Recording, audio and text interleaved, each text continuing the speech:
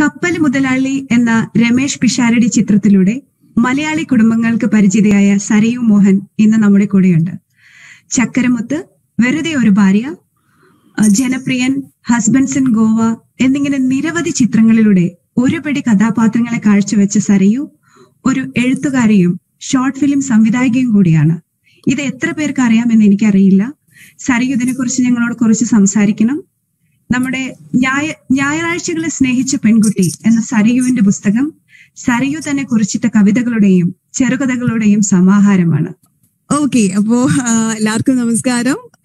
Happy children's day and happy Diwali thank you thank you ഞാൻ കുറച്ചു നേരമായിട്ട് ഇങ്ങനെ നമ്മുടെ കീനോട്ട് സ്പീക്കറുടെ സംഭാഷണം കേൾക്കുകയായിരുന്നു. ആൻഡ് ഇന്ന് നമ്മൾ സംസാരിക്കുന്നത് അധികവും പാരന്റിങ്ങിനെ പറ്റിയൊക്കെയാണ്.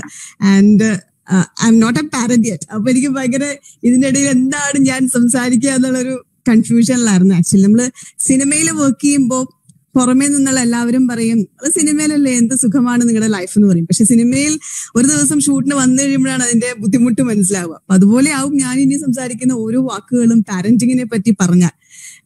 ബിക്കോസ് പുറമേ നിന്ന് നോക്കുമ്പോൾ വളരെ സുന്ദരമായിട്ടുള്ള പീസ്ഫുൾ ആയിട്ടുള്ള ഒരു ലോകമായിട്ട് തോന്നും. പക്ഷെ എനിക്കറിയാം അത്രയും സുന്ദരം അത്ര സുന്ദരമാണ് ഒബ്വിയസ് എന്നാലും അത്രയും എളുപ്പമുള്ള ഒരു കാര്യമല്ല എന്നുള്ളത്. പക്ഷെ ഇപ്പൊ നമ്മുടെയൊക്കെ ചെറുപ്പകാലത്തിലേക്ക് തിരിഞ്ഞു നോക്കുകയാണെങ്കിൽ നമ്മളെല്ലാവരും കൂട്ടമായി സ്കൂളുകളിൽ പോവുകയും അപ്പുറത്തെ വീടുകളിൽ പോയി കളിക്കുകയും ഉള്ളതെല്ലാം പങ്കുവെച്ചും മൂന്ന് നാല് മക്കളുള്ള വീടുകളിൽ ഒരുമയോടെ നിന്നും പങ്കുവെച്ചും ടീച്ചറുടെ അടി കൊണ്ടും മഴ നനഞ്ഞും പാടത്ത് കളിച്ചും എല്ലാം വളർന്നിട്ടുള്ളവരാണ്. അപ്പൊ അന്നത്തെ നമ്മുടെ നമുക്ക് നമ്മുടെ പാരന്റ്സുമായിട്ടുള്ള റിലേഷനും ഇന്നത്തെ റിലേഷൻ എന്ന് പറയുന്നത് എന്റയർലി ഡിഫറെന്റ് ആയിട്ടുള്ള ഒരു കാര്യമാണ്. അപ്പോ കുട്ടികൾ മാറി കുട്ടികളുടെ ലോകം മാറി. അപ്പൊ അതിനനുസരിച്ച് തീർച്ചയായിട്ടും പാരന്റിങ് മാറിയിട്ടുണ്ടാവും. നമ്മളൊക്കെ കുറെ ജീവിതത്തിൽ പരിങ്ങിയും പേടിച്ചും അറിഞ്ഞും പഠിച്ചുമൊക്കെയാണ് ഒരു സോ കോൾ സ്മാർട്ട് എന്നുള്ള ലെവലിലേക്കൊക്കെ എത്തിയിട്ടുള്ളത്. പക്ഷെ ഇപ്പോഴത്തെ കുട്ടികൾ എന്താ പറയുക ജസ്റ്റ് ബോൺ സ്മാർട്ട് വളരെ സ്മാർട്ട് ആയിട്ടുള്ള കുഞ്ഞുങ്ങളാണ്. അപ്പോൾ തീർച്ചയായിട്ടും പാരന്റിംഗ് എന്ന് പറയുന്നത് ഒരു സ്മാർട്ട് പാരന്റിംഗ് എന്നുള്ള ലെവലിലേക്ക് മാറിയിരിക്കുകയാണ്. അപ്പോ എനിക്കറിയാം ഞാൻ സംസാരിക്കുന്നത് വളരെ ബ്യൂട്ടിഫുൾ ആയിട്ട് ആ ഒരു ഘട്ടം കൈകാര്യം ചെയ്യുന്ന ഒരുപാട് പേരോടാണ് എന്നുള്ളത്. പക്ഷെ എന്താ പറയാ ഇപ്പം ഇപ്പൊ ഞാനൊക്കെ ഇപ്പം പറഞ്ഞ മാതിരി തന്നെ ഞാൻ സംഭാഷണങ്ങളൊക്കെ കേൾക്കുമ്പോൾ ശ്രദ്ധിച്ച ഒരു കാര്യമാണ്. എന്റെ ഒന്നും കുട്ടിക്കാലത്ത് ടി വി ഇല്ലായിരുന്നു വീട്ടിൽ. ഞാനൊരു ഒരു ഒരു അഞ്ചാം ക്ലാസ് ആറാം ക്ലാസ് എത്തുന്നത് വരെ റേഡിയോ പോലും ഇല്ലായിരുന്നു വീട്ടിൽ. അപ്പൊ അന്നൊക്കെ പക്ഷെ നമ്മൾ വളരെ സമാധാനപൂർവമായിട്ട് ആ ഒരു കാലഘട്ടവും ആ ഒരു ബാല്യവും ശൈശവും എല്ലാം ചെലവിട്ട് പോയിട്ടുണ്ട്. പക്ഷെ ഇന്നത്തെ കുഞ്ഞുങ്ങൾ ദേ ഭയങ്കര ഹൈപ്പർ ആക്റ്റീവ് ആയിട്ടുള്ള കുഞ്ഞുങ്ങളാണ്.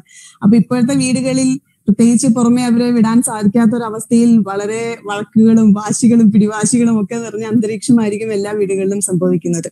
അപ്പൊ സ്കൂളിൽ പോവാ എന്ന് പറയുമ്പോൾ ഒരു ഒരു സമൂഹത്തിൽ ജീവിക്കുക എങ്ങനെയെന്നാണ് നമ്മൾ കുഞ്ഞുങ്ങളെ ബേസിക്കലി പഠിപ്പിക്കുന്നത്. മറ്റൊരു വീട്ടിൽ മറ്റൊരു സാഹചര്യത്തിൽ മറ്റൊരു ജീവിത രീതിയിൽ ഭക്ഷണ രീതിയിൽ വളരുന്ന കൂട്ടുകാരും ഒത്ത് പങ്കുവെച്ചും പഠിച്ചും അറിഞ്ഞും ഒക്കെയാണ് അവനൊരു സ്കൂളിൽ വളരുന്നത്. പക്ഷെ വീടുകളിൽ നിന്ന് അവൻ എന്താണ് പഠിക്കുന്നത്? അവന്റെ ബേസിക് എന്താണെന്നുള്ളതാണ് ഏറ്റവും വലിയൊരു ക്വസ്റ്റ്യൻ എന്ന് പറയുന്നത്. സോ ഇപ്പോഴത്തെ അവസ്ഥയിൽ എല്ലാം ഓൺലൈനിലേക്ക് മാറിയിരിക്കുകയാണ്. അപ്പോ നമുക്കൊരു നമ്മൾ നിർബന്ധിതരാണ് ഓൺലൈനിലേക്ക് നമുക്ക് കുട്ടികളെ പറഞ്ഞു വിടാനായിട്ട്. ബിക്കോസ് ക്ലാസ്സുകൾ അവിടെയാണ് നടക്കുന്നത്. ഈ പറഞ്ഞ പോലെയുള്ള എന്ത് എന്റർടൈൻമെന്റ്സ് ആണെങ്കിലും അവിടെയാണ് നടക്കുന്നത്. പക്ഷെ ഞാൻ പറയാൻ ആഗ്രഹിക്കുന്നത് അത്തരമൊരു നിർബന്ധിത സാഹചര്യങ്ങളിലേക്ക് എത്താത്ത കുഞ്ഞു മക്കളെ പറ്റിയിട്ടാണ്. അപ്പോ ഞാൻ കണ്ടിട്ടുണ്ട് ഈ പറഞ്ഞ മാതിരി എല്ലാവരും വർക്കിംഗ് ആണ്. പാരന്റ്സ് അച്ഛനായാലും അമ്മയായാലും വർക്കിംഗ് ആണ്. എന്റെ ചുറ്റും നാട്ടിലാണെങ്കിൽ പോലും വർക്കിംഗ് ആണ് എല്ലാവരും. അപ്പോൾ നമ്മൾ കാഴ്ചയുടെ ലോകത്തേക്ക് കുഞ്ഞുങ്ങളെ അങ്ങ് എളുപ്പത്തിൽ വിട്ടുകൊടുക്കും. അപ്പോൾ അവിടെ ഈ നിറങ്ങളുടെയും കാഴ്ചകളുടെയും ലോകത്ത് പലപ്പോഴും അവർ മതിമറന്നിരുന്നു പോകും. പക്ഷെ ഏറ്റവും കുഞ്ഞു മക്കളെ അങ്ങനെ ഒന്ന് വിടാതെ അവരെ ഒന്ന് പിടിക്കാൻ സാധിച്ചിരുന്നെങ്കിൽ എനിക്ക് പലപ്പോഴും തോന്നാറുണ്ട്. ഓട്ടങ്ങൾക്കിടയിൽ പ്രാക്ടിക്കൽ ലൈഫിനിടയിൽ ചിലപ്പോൾ പറയുന്നത് അത്ര പോസിബിൾ ആവില്ല. സ്റ്റിൽ അതൊന്ന് ശ്രമിച്ചു നോക്കിയിരുന്നെങ്കിൽ എല്ലാവരും ഞാൻ ആഗ്രഹിക്കാറുണ്ട്. ബിക്കോസ് കാഴ്ചകൾ വളരെ എളുപ്പത്തിൽ അവരുടെ മനസ്സിലേക്ക് പതിയുന്ന കാര്യങ്ങളാണ്. അപ്പൊ അതിനപ്പുറം അതൊരു കേൾവിയിലേക്കോ വായനയിലേക്കോ ഒക്കെ എത്തുകയാണെങ്കിൽ ഇപ്പോ നമ്മളൊക്കെ ഒരുപാട് വായിച്ച് കാര്യങ്ങൾ ഇമാജിൻ ചെയ്ത് പോയിട്ടുണ്ട്. പക്ഷെ ഈ കുഞ്ഞുങ്ങളെല്ലാം കാണുകയാണ്. ഇപ്പം ഒരു രാജകുമാരി ഒരു ആകാശം എന്ന് പറയുന്നത് അവർ കാണുകയാണ്. അവരുടെ ഇമാജിനേഷനിലേക്ക് അത് സംഭവിക്കുന്നില്ല. നമ്മളൊരു ഉണ്ണിക്കുട്ടന്റെ ലോകം നന്ദനാരുടെ ഉണ്ണിക്കുട്ടന്റെ ലോകമൊക്കെ വായിച്ച് വളരുമ്പോൾ നമ്മുടെ ഒരു സുഹൃത്ത് നമ്മുടെ ഒരു കൂട്ടുകാരൻ എന്നുള്ള രീതിയിലാണ് നമ്മൾ പലപ്പോഴും കണ്ടിട്ടുള്ളത്. പക്ഷെ ഇപ്പോഴത്തെ കുഞ്ഞുങ്ങൾക്ക് അത്തരം ഒരു ലോകം പറഞ്ഞിട്ടുണ്ടെങ്കിൽ ഏതോ നടക്കാത്തൊരു ലോകം എന്നുള്ള രീതിയിലേ അവർക്ക് ചിന്തിക്കാൻ സാധിക്കുകയുള്ളൂ. അപ്പൊ ആ കുഞ്ഞു മക്കളെയൊക്കെ ഇപ്പം ടെക്നോളജി ഇല്ലാതെ നമുക്കൊന്നും സാധ്യമല്ല. അപ്പോൾ ടെക്നോളജിയുടെ സഹായത്തോടു കൂടിയാണെങ്കിലും കഥകളും കവിതകളും കാണുന്നതിന് പകരം കേൾപ്പിക്കാൻ സാധിക്കട്ടെ എന്ന് ഞാൻ ആഗ്രഹിക്കുകയാണ്. വായിച്ചു പഠിക്കാൻ വായിച്ച് മനസ്സിലാക്കാൻ വായിച്ചു കൊടുക്കാൻ പാരന്റ്സിന് സാധിക്കട്ടെ എന്ന് ഞാൻ ആഗ്രഹിക്കുകയാണ്. ഇതാണ് ഏറ്റവും ബേസിക് ആയിട്ട് എനിക്ക് പറയാനുള്ള ഒരു കാര്യം എന്ന് പറയുന്നത്. നിറങ്ങളുടെയും ദൃശ്യത്തിന്റെയും ലോകങ്ങളിലേക്ക് വളരെ എളുപ്പത്തിൽ കുഞ്ഞുങ്ങളെ വിട്ടുകൊടുത്താൽ തിരിച്ചു പിന്നെ നമുക്ക് അത്ര എളുപ്പത്തിൽ അവരെ കൊണ്ടുവരാൻ സാധിക്കുമെന്ന് എനിക്ക് തോന്നുന്നില്ല. ഒബ്വിയസ്ലി ഒരു ഏജ് കഴിഞ്ഞാൽ അവർ ആ ലോകത്തേക്ക് തന്നെ തിരിച്ചു പോകും. ആ ഒരു സമയത്തിനുള്ളിൽ കുറച്ച് ക്രിയേറ്റീവ് ആയിട്ടുള്ള കുറച്ച് ഇമാജിനേഷൻ സാധ്യമായിട്ടുള്ള ഒരു സാഹചര്യം അവർക്ക് ഒരുക്കി കൊടുക്കാൻ സാധിക്കട്ടെ എന്ന് ഞാൻ ആഗ്രഹിക്കുകയാണ്.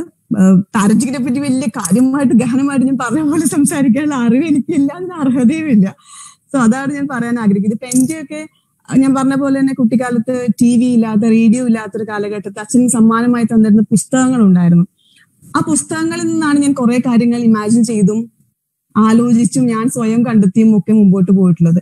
അപ്പൊ അത്തരം ഒരു സാഹചര്യം എന്നെ പേഴ്സണലി ഒരുപാട് ഗുണം ചെയ്തിട്ടുണ്ട്. ഞാനൊരു വിഷ്വലിൽ നിന്നൊരു കാര്യം പഠിക്കുന്നതിനേക്കാൾ കൂടുതൽ പലപ്പോഴും അത്തരം അവസരങ്ങളിൽ നിന്ന് പലതും പഠിച്ചിട്ടും അറിഞ്ഞിട്ടും ഓർമ്മയിൽ വെക്കാനും സാധിച്ചിട്ടുണ്ട്. അപ്പൊ ആ ഒരു രീതിയിലേക്ക് ഒരു ചെറിയ ശ്രമം നടത്താൻ എല്ലാവർക്കും സാധിക്കട്ടെ എന്ന് ഞാൻ ആഗ്രഹിക്കുകയാണ്.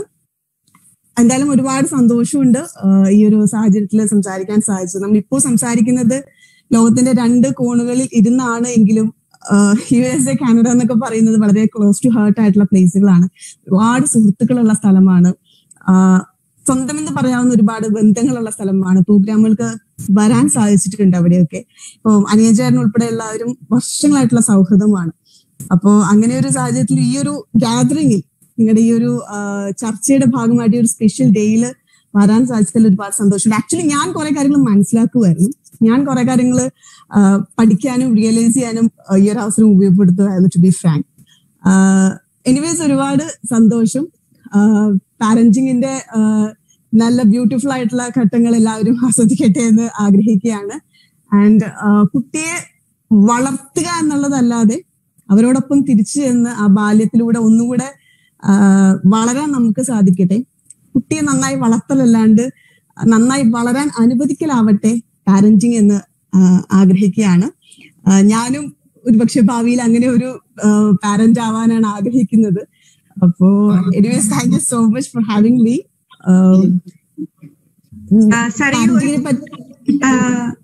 അല്ല സ- സരയു പാരന്റിങ്ങിനെ പറ്റി അല്ലാതെ സരയു ഒരുപാട് കമ്മ്യൂണിറ്റി ഇഷ്യൂസിൽ ഇപ്പോൾ ഇൻവോൾവ് ആണല്ലോ അതിനെ പറ്റിയും സരയുവിന്റെ എഴുത്തുകളെ പറ്റിയും പുതിയ പ്രോജക്ട്സുകളെ പറ്റിയും ഞങ്ങൾക്ക് രണ്ടു വാക്ക് പറഞ്ഞു തരാമോ? തീർച്ചയായിട്ടും. പ്രോജക്ട്സ് എന്ന് പറയുമ്പോൾ സിനിമ ഒരെണ്ണം ജസ്റ്റ് കംപ്ലീറ്റ് ചെയ്ത സമയത്താണ് നമ്മൾ ഇങ്ങനെ ഒരു അവസ്ഥയിലേക്ക് വന്നിട്ടുള്ളത്. അടുത്ത സിനിമ ഷൂട്ട് തുടങ്ങാൻ പോകുന്നതേ ഉള്ളൂ. ആസ് ഓഫ് നോ വീട്ടിലുള്ള അവസ്ഥയാണ്.